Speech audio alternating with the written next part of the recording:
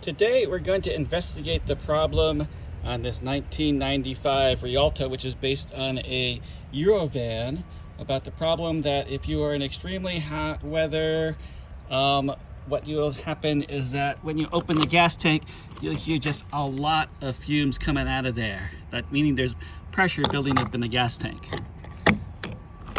So uh, what uh, I found is that you know, there's a tube that goes from the gas tank which goes to this evaporative container here.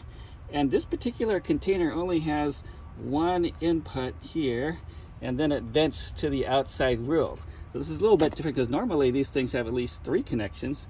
Uh, these little nubs here are just for alignment and they don't connect to anything. And uh, what happens is that the intake manifold input is connected to a T out onto this single hose. See, there's only one hose that connects to that evaporative container, which I found confusing. And I found that uh, if uh, I blew in this end, the uh, it would immediately come out of this end. So this didn't seem to be blocked, although I think it at some point must have been blocked.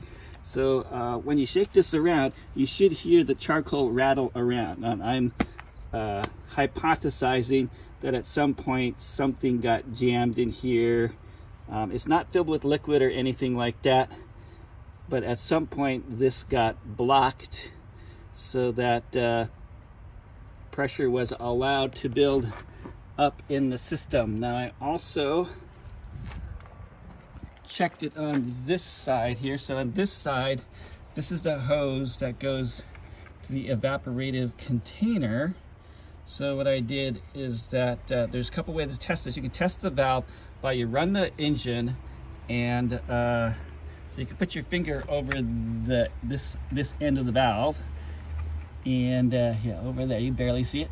And uh, if you rev the engine you should feel this start sucking. So I had to rev it up quite a bit but eventually it did turn on and I could feel uh, the suction turn on. So that shows that this valve works uh, then I put some air pressure into this side here. Now initially the pressure was pretty high, like over 50 pounds.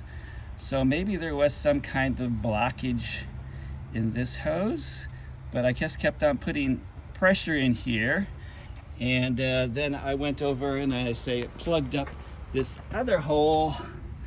And then I checked to see when I took this out, whether we got pressure out and we did. So that proves that uh, the lines are clear all the way to the gas tank.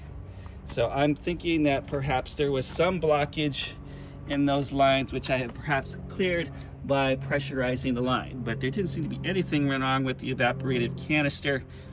And so I know now that there is a clear line between the gas tank to the uh, evap to the outside world. So actually there should actually never be any pressure building up when I open that gas tank anymore. So I will watch out for that. So, but hopefully that fixed my problem.